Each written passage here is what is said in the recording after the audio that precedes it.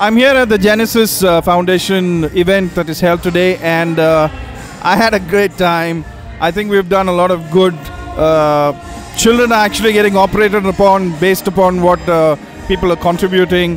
CEO singing for child is a brilliant idea, and I would like to actually thank these guys for calling me over. Let me just say one thing it's easy for us to come and sing. The harder thing is to actually help these children, and that's what you guys are doing. Proud of you guys.